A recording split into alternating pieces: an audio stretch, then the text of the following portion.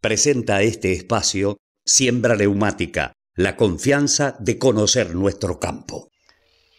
La República Argentina, principalmente la área centro-norte, tanto el NEA como el NOA, estará afectado por dos sistemas de aire cálido y húmedo semiestacionario y un frente frío débil que comenzará a partir de la primera semana de este mes de diciembre. La segunda semana de diciembre afectará con dos perturbaciones también nuevamente importantes, con acumulados entre 20 y 45 milímetros. En el sector del NOA, aire cálido y húmedo proveniente de la eh, sur de Bolivia, centro y sur de Paraguay, lo que motivará esas corrientes ascendentes, tormentas tropicales, especialmente sobre el oeste de la región de Jujuy, Salta, Tucumán, Catamarca y La Rioja.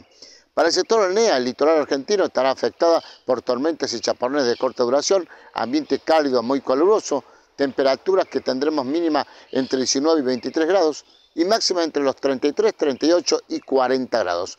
hacia el final de la primera semana y mitad de la segunda, que ya estará emplazado con el eh, acomodamiento del final de la primera quincena de diciembre, tendremos tres perturbaciones con lluvias importantes, con acumulados de más de 40, 60 y 80 milímetros y temperaturas adecuadas a la época del año con elevada sensación térmica. Ambiente húmedo proveniente del sur de Brasil, donde tendrá lluvias también interesantes entre 80 y 100 milímetros,